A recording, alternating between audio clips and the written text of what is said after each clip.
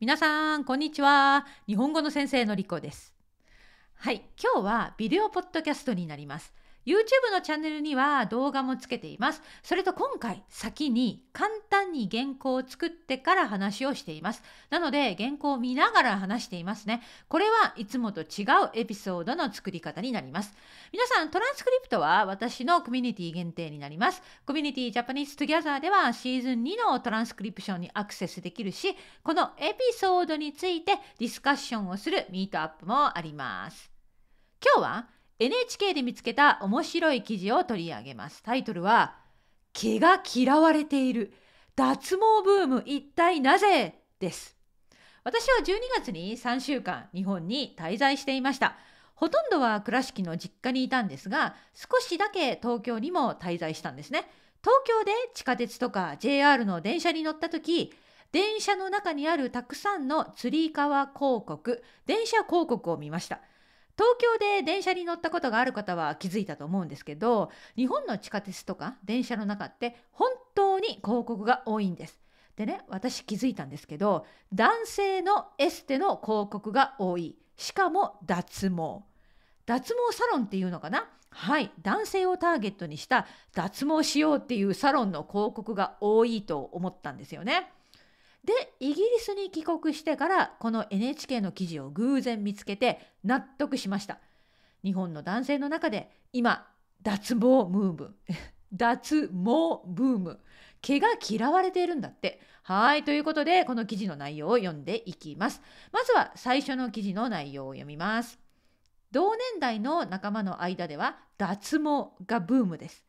数ヶ月前定期的に脱毛クリニックに通っている同僚から紹介キャンペーンで割引中だから一緒に行かない？と誘いを受けました。街の看板や鉄道の中そしてインターネット上で脱毛クリニックの広告をよく目にします。それも男性向けが多くなった印象を持ちました。いつの間に毛が嫌われるようになったのでしょうか？性別や世代を超えた脱毛ブームの背景を取材しました。これが最初の記事の部分で、あとは実際の脱毛クリニックに取材した様子が書かれています。その取材されたクリニックでは、合計で1ヶ月に6万人が訪れていて、3年前の3倍にお客様が増加しているということでした。だから今本当に脱毛したい人が増えてるんだね。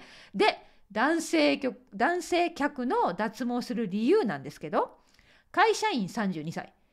女性の意見を加味して脱毛をやっています。ツルツルの方がいいよね。清潔感がある方がいいよね。って女性の友達も言っています。脱毛した後は肌綺麗やね。って言われたりとか見た目より若い。と言われたりとか気づいてもらえるんです。公務員34歳。最初は手入れがしたくないっていう一心でクリニックに来ましたけど一回毛をなくすとここもいらないんちゃう？そこもいらないんちゃう？と感じるようになりました。無毛でツルツルの肌が憧れです。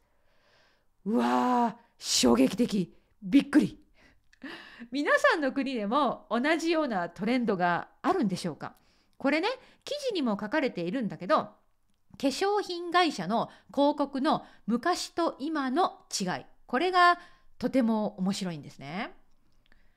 1970年代の広告はカーボーイ姿のおじさんでたくましいひげが印象的な男性の写真なんです。でも今の時代の広告は男性は肌がツルッツルなんです。つまり時代とともに男性の見た目への意識が変化しているんですよね。女性だけではなく男性もお肌の手入れを積極的にするようになって美肌を目指しているんですだから脱毛も人気ただこの NHK の記事のびっくりするところは最近子供が脱毛クリニックに行くケースもあるということである中学生の女性は肌が出ている部分に毛があると清潔感がないと感じます。学校の友達も脱毛サロンに行っています。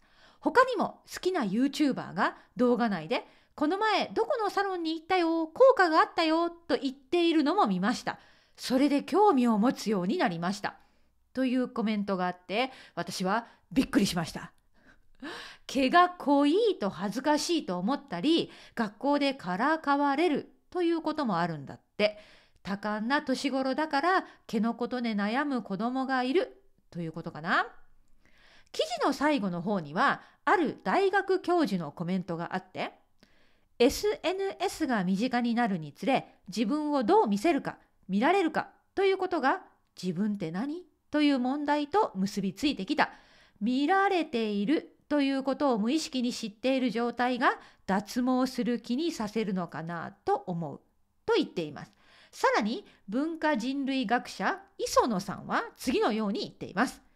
無駄なものを全部そぎ落としていこうという考えとヒゲなんて生えてきたら邪魔だよね無駄じゃん？という考えはつながっている。ツルツルの体というのは無駄なものをそぎ落として合理的に生きていきたいというまさにオンライン化された社会の欲望を象徴している。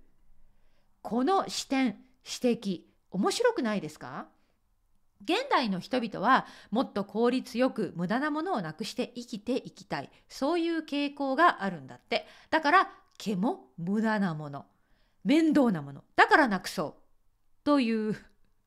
まあ脱毛するかどうかはやっぱり個人の自由だけど日本でよくあるみたいにこれが社会の風潮みたいになってしまって脱毛しないといけないという同調圧力が高まっていくのは危険だなと思いました。そうこれこそ自由に生きられない日本社会がどんどん進んでいくような気がしますね。それは良くないです。私は日本滞在中の感想をポッドキャストでもシェアしたけど日本ってマスク着用のこともそうですけど同調圧力を感じることが多いと思います。その結果生きづらいと思う人そしてストレスが溜まってしまう人が多いんじゃないかな。はいそれでは皆さんはどう思いますか？毛が嫌われているから同調圧力まで話が発展してなかなか深いトピックでしたよね。ぜひ NHK の記事も読んでみてください。それではまたね